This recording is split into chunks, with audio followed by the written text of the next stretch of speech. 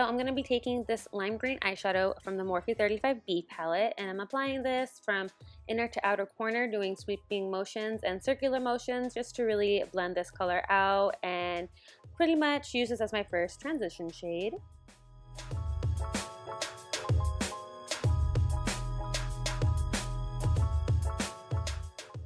Now dipping into this aqua blue eyeshadow, I'm going to apply this pretty much in the same places that I applied the light green eyeshadow. This one though, I'm really going to build it up um, to the intensity that I like. As you can see, this is a pretty deep and dark smoky eye, so all these colors are going to be um, applied on the inner and outer corner, doing the same exact motions just to blend everything out. And we're really going to pack on the colors to build up the level of intensity for this smoky eye today. If you don't want this to be as smoky, you don't need to build it up as much, but you know I like to go the extra mile. So to diffuse the lines between that light green and that aqua blue, I'm taking this color and a Real Techniques brush and just diffusing those lines so there are no harsh lines and nothing looks patchy. We want to make sure everything looks blended since we are doing such a deep smoky eye. You want to make sure everything looks nice and seamless. So I felt like I brushed away a little bit of that aqua color, so I'm just dipping in, dipping into it again. There you go, um, just to bring that color back to life. Now taking this dark green eyeshadow, um, I think I've mentioned in tutorials in the past that all the colors aren't as dark as they look in the pan, but they are buildable to that. So that's pretty much what I'm doing here. And the darker the colors, I'm going to keep closest to the um, crease bone. That way it doesn't look like I have a big black eye. Now I'm taking this teal color and diffusing the lines between all of those different colors that we applied, again to make sure everything looks nice and seamless and fully blended.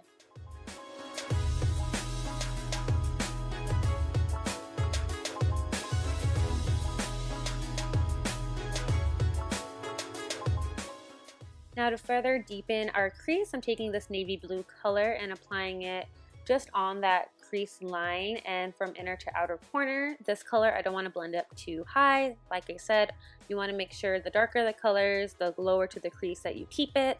That way everything will just have a really pretty gradient ombre effect at the end. And then whatever's left on this brush, I'm just blending it out. Now going into this purple shade, I'm going to apply this on the outer corners and the inner corners at first and then start to doing start to do sweeping motions from inner to outer corner just to fully blend it out. As you can see, the purple is the star of the show. So I'm going to really be building up this color and building up the intensity.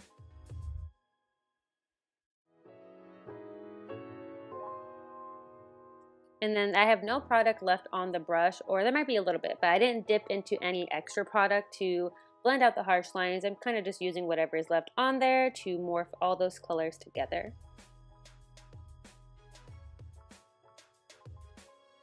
So pretty much what I'm going to be doing here is using that same purple and that same navy blue shade and really deepen and darken that crease line. This is going to help make that purple pop as well since that purple is very uh, very light, very violety, um, and that glitter just really gonna make it pop. So adding those darker colors definitely helps that. And I'm applying this purple eyeshadow that way um, none of the, you know, my actual eyelid peeks through the glitter. That way I kind of cover my bases. That way if I do miss, you know, part of my eyelid with glitter, it's still purple. So here I'm taking more of that green eyeshadow and just deepening it because this was starting to look really purple and blue and I really wanted that green to pop through. So I'm just applying more of the green eyeshadow and then applying another layer of that purple. A lot of these steps are repetitive just because I am building up the colors with all of the same colors. I'm not going in with a million different shades to create the look. I'm just um, really building up the intensity with each shade. And you want to make sure that you take your time when doing this. That way everything can just look very nice and seamless. And here I'm taking navy blue and that purple shade mixed together and doing slow sweeping motions, kind of making a, like a C shape on my eye. If you think about it, that way it can really round that eye and make that glitter when it comes to that part. Make it pop, you know what I'm saying? And here I'm just blending out for any harsh lines. You guys already know the deal. And then I'm to be taking a white eyeshadow just to add some lift to our brow. And I'm just applying it right underneath the brow bone and blending it out so there's no harsh lines. You guys already know the deal.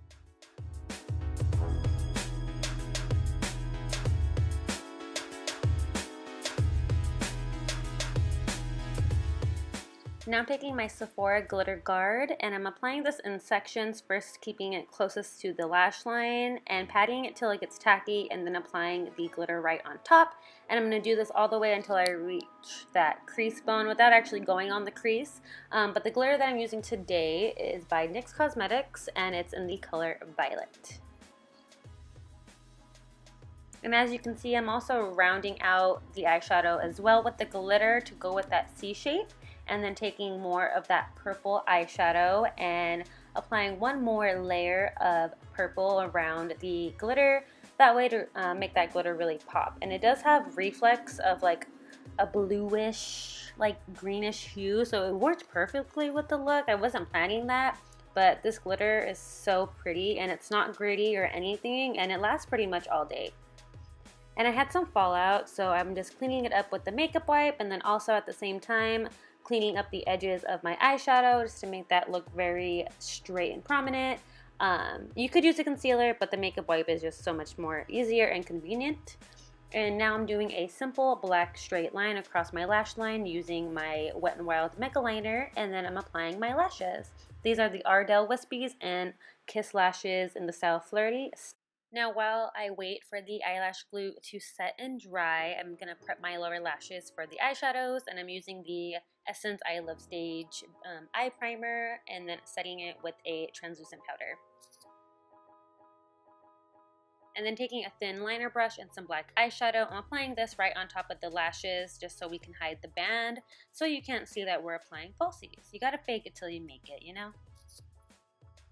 So for the lower lash line, I'm going to be taking all of the eyeshadows that we used on top on the bottom, well all except for the green ones. The green eyeshadows I did not apply on the lower lash line, I just went in straight with the aqua blue and then all the deep purples and blues that we used to really smoke it out and make it match the, um, the lid colors. And then to coat my lower lashes with mascara, I'm using by The Balm Cosmetics, their Mad Lash Mascara. So you could totally rock like a nude lip with this look and be ready to go to whatever event or special occasion you have where you would want to wear this look. But for me today, I wanted to use this Sephora Collection liquid lipstick. This is in the color like forest something i don't know the exact name but i will leave it down below for you. It is number 29 um, but i love this color and it was giving me some serious like dark mermaid vibes. Um, i absolutely loved it and i wore it for the rest of the day. However you could use a really pretty nude would look nice with this look so whatever floats your boat